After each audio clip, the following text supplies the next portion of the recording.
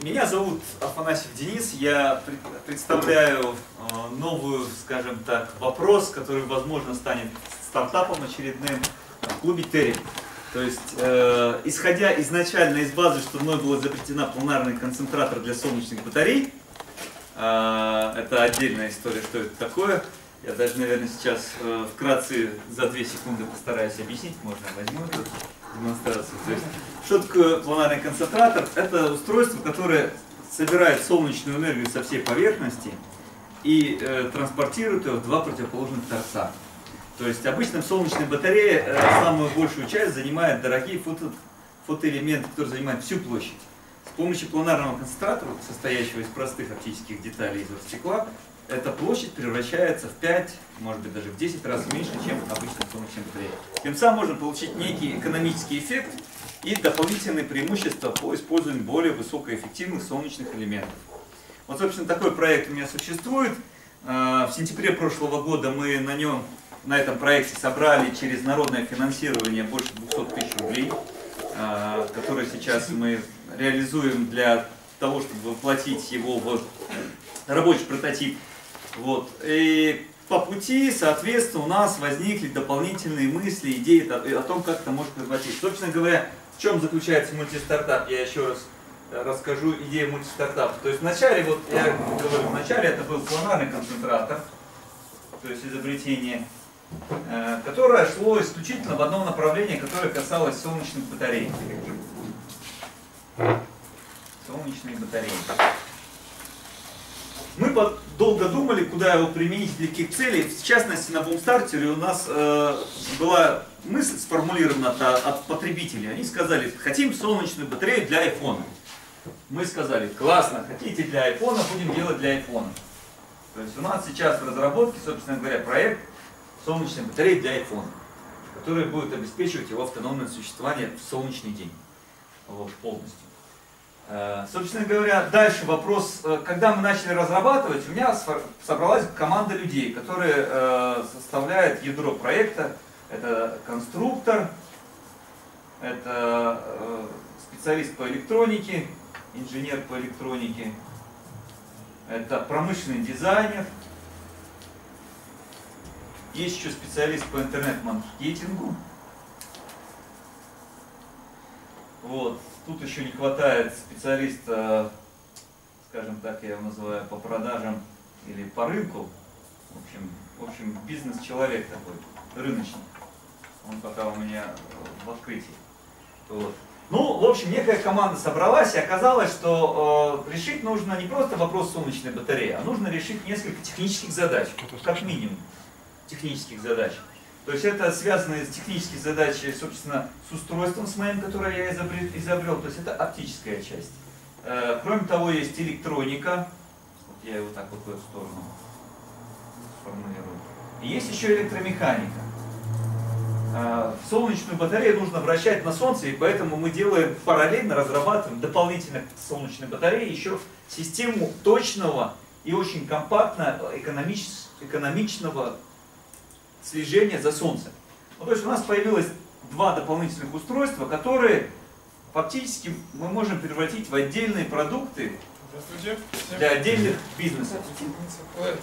Вот, собственно, поэтому у нас из одного корня выросло как минимум три направления, а может быть даже и четыре.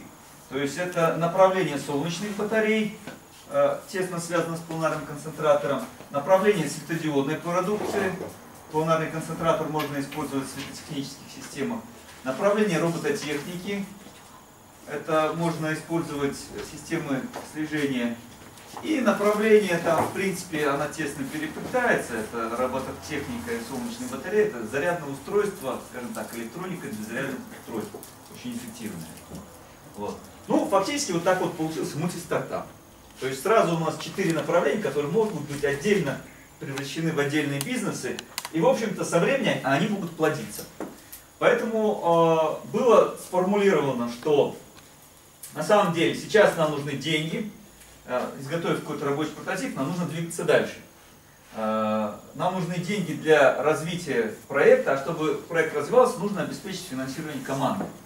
Вот. Ну, так как команда является фактически специалистами своей области и может создавать совместно любой из этих проектов, то есть мы говорим так, можно запустить паевую венчурную инвестиционную игру, в которой всякий участник, начиная от 10 тысяч рублей, может вложиться сразу в несколько проектов, финансируя рабочую команду, которая будет разрабатывать рабочие прототипы этих устройств, дополнительно усиливаясь э, рыночниками, там, маркетологами, экономистами, э, предлагать это на перспективу в рынку, рынок будет реагировать, соответственно, какие-то из продуктов стрельнут, какие-то, может быть, не стрельнут. Но, в общем, вот возникает некая такая вот э, инвесторная, рискованная игра, которая в конечном счете предполагает, что войдя вот сейчас вот сюда со стоимостью 10 тысяч рублей за пай, к концу проекта, который, ну, срок мы его установили 2 года и 12 месяцев, человек эти 10 тысяч рублей может превратить в 1 миллион рублей. Ну или фактически за 20 тысяч можно купить квартиру. Вот такую возможность предоставляет э, венчурный проект. Это в принципе свойство э, венчурных технологических проектов. Они э, растут в своей цене за счет своей капитализации. Не за счет создания больших объемов и рынков, которые будут создаваться позже, а за счет технологических возможностей, которые они предоставляют. И вот, собственно, команда, команда разработчиков и э, прочих специалистов может поднять э, стартап, который находится в сыром состоянии, э, до серьезной технологической платформы, которую можно будет легко продать э, любому крупному производителю там, за 10 миллионов долларов. Поэтому то, что мы сейчас стоим 5 миллионов рублей, будет стоить миллиард рублей. Вот так это происходит капитализация. И вот э, придя такой модели, мы, я, мы сейчас создаем, я как бы думаю, как создать мультиинвестирование. И в конечном счете все свелось э, на прошлой встрече Сибирской артели к вопросу, как э, создать коммуникационный сайт или пространство, в котором все вот эти вот участники,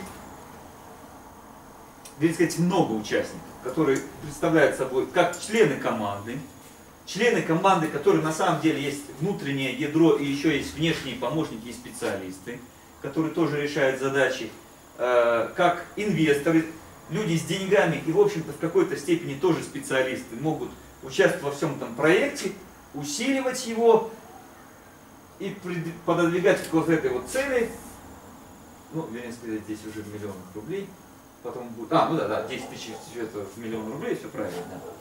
Вот. Собственно говоря, вот этот вопрос я формулирую. Честно говоря, у меня нет серьезных идей, как это организовать. И поэтому я его задаю и предлагаю начать идейную поддержку. А, а я буду записывать. Все. Еще раз вопрос.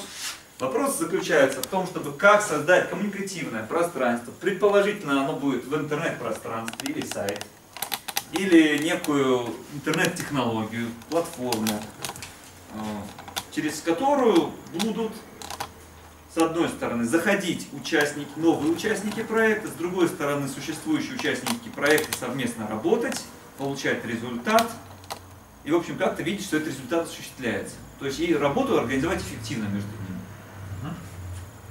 Вопрос понятен? Вопрос понятен? У кого появились.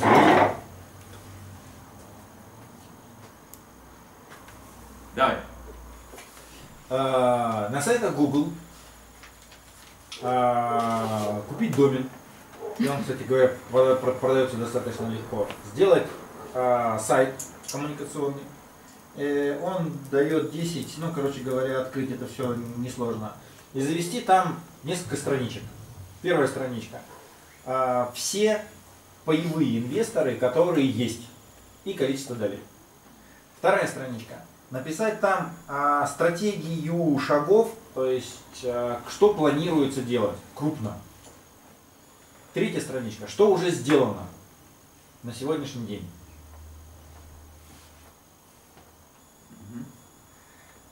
Четвертая страничка. Тоже для чего-то пригодится.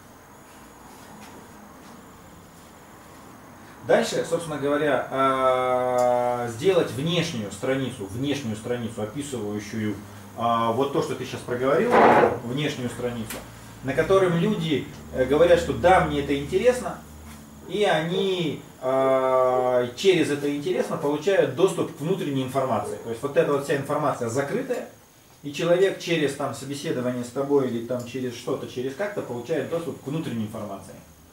Дальше он заходит, читает, смотрит, у него возникает куча вопросов, ты на ему на, на эти вопросы отвечаешь, и он приобретает пай. И становится участником этой игры. Угу. Хорошо. Ясно. Еще вопросы? Ой, еще идеи. Ну, разделение сайта на половину, то есть для инвесторов и, и рабочая часть. То есть э, они должны быть соединены. Информ... Ну, то есть рабочая часть должна поставлять информацию в виде чисел инвесторов, то есть какую-то определенную. То есть э, рабочая часть им половину как бы не нужна будет, то есть вторичная информация для них, то есть надо разделение сделать конкретно Угу. на сайте. А еще там сделать страничку, что сделано за неделю.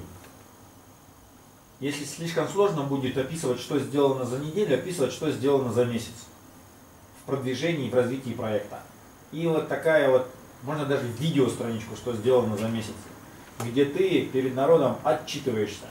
Ребята, что произошло за месяц? Как продвинуть? Ну, Ольга Алексеевна получает А, говорить. ну, ясно. То есть, э, как бы основным тупиковым моментом, вот таким узким местом всех инновационных проектов, э, как бы является, во-первых, что есть изобретатель, есть инвестор. Инвестор ничего не понимает, потому что балаболит изобретатель.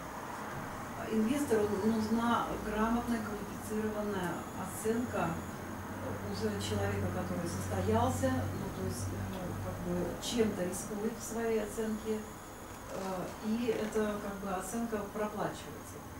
То есть оценка эксперта, во-первых, по научной части этой проблемы, во-вторых, по, а, ну, скажем, по ве- поведению рынка в этой проблеме и экономического эксперта, во сколько это реально стоит.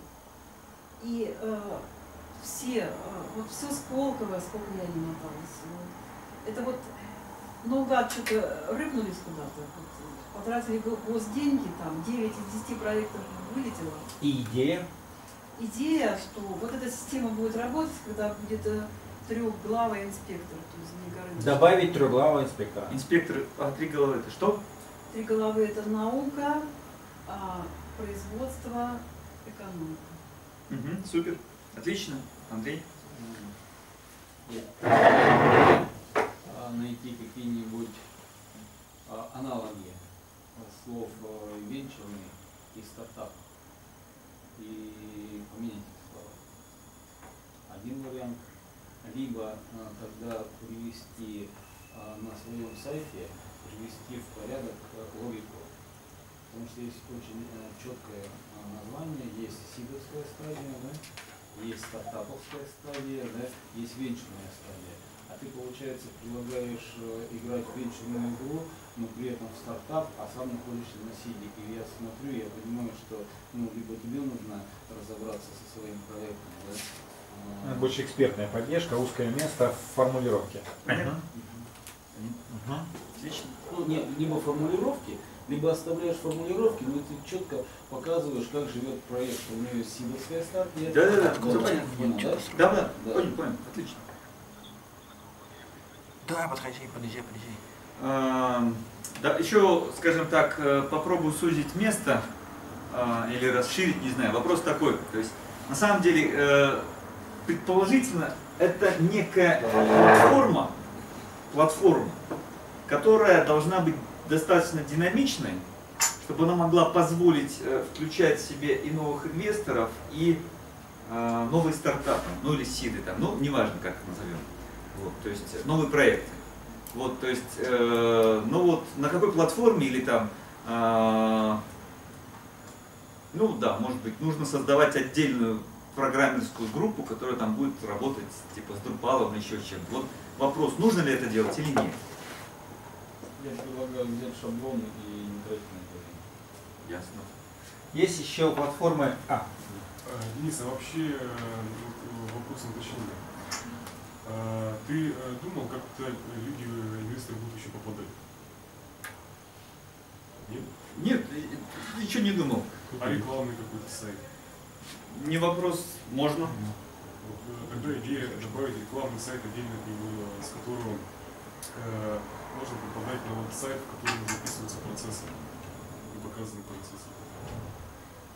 Есть из платформ, есть, есть платформ а, ВКонтакте, э, то есть в смысле на Фейсбуке, есть а, секретные группы. То есть можно открыть группу, и там фактически есть самая ну, главная часть, что каждый человек может оставить там свое сообщение. И там есть документы, с помощью которых можно выкладывать какую-то структурированную информацию. В принципе, под ту же самую функцию подойдет еще и Google Доки. То есть не, не, не Google сайты, а Google Доки. Она тоже позволяет ввести структурированную информацию с, за- с записью к- комментариев и идей всех участников. Мгм. Давай. А, У меня предложение такое, сконцентрироваться не столько на технических моментах, сколько на образах. И а, уделить э, внимание краткости изложения информации, картинки, образу и взаимосвязи вот этих всех картинок, да, чтобы, может быть, больше что-то сделать в виде комиксов, да, нежели чем научных, э, ну, научных выступлений. И, и еще у меня идея, идея э, пошерстить э, экологические движения. Э, есть Домовские, есть там, Анастасийские, ну целые есть движения, да? Это уже сформировавшиеся сообщества, у них, у всех практически заложена вот эта вот страстная тяга к солнечной энергетике, Э, плюс э, записывать, да, еще Да-да-да. идеи. А, В Англии существует э, целый город, построенный на вот этих технологиях. У меня, если где-то, я буду найти контакты. Вот, если ты с ними законтачишься, то э, ты можешь э, найти на сайте продвижения не только внутри да, но и еще и там. Конечно. А, Давайте, может быть, я немножко э, попробую по-другому переформулировать оставшиеся мне Мгм. полторы минуты, две. То есть э, ключевая вещь, ключевая вещь в данном случае, я хочу именно создать сайт как рабочее пространство, как это Денис формулирует, рабочее пространство для развития, в общем-то, и работы совместной. То есть это как бы э, не я там все делаю, сижу, создаю образы там, э, делаю экспертную оценку или еще что-то такое, как бы, э, ну вот хочется именно запустить, чтобы это просто люди, включаясь в работу, могли, могли вот это вот все выполнить. То есть фактически сами сформулировать дополнительные задачи, вот как мы сейчас формулируем, и сами же взяться за них и решить ее. При этом получить справедливую долю вознаграждения. Вот. Вот, то есть, вот что-то вот такое хочется замутить, то есть, чтобы это было именно так вот, саможивущий организм, без там личного контроля управления. Давай. А, проанализировать игры, интернет-игры, там, где события разворачиваются динамично, да, ну, и нереалистично, и заложить э, все свои идеи э, в ядро какой-нибудь игрушки, для того, чтобы их можно было, реализовать вначале в игровом пространстве, да, и потом уже выносить куда-то. А, вообще вот то, что ты сейчас говоришь, это называется вики-движок. То есть это, вики, это, это Википедия, это вики-движок, когда создается коллективное знание, и каждый может там в любой момент, любой момент или точку докрутить. Да? Да-да-да. Вики, фактически вики-движки, они есть, они созданы.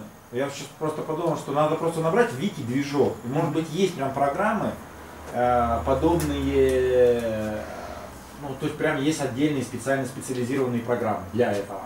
Специально сделанные для вот формирования такого коллективного знания. Когда каждый может в любую точку внедриться, ну и добавить к любой точке проекта. Круто.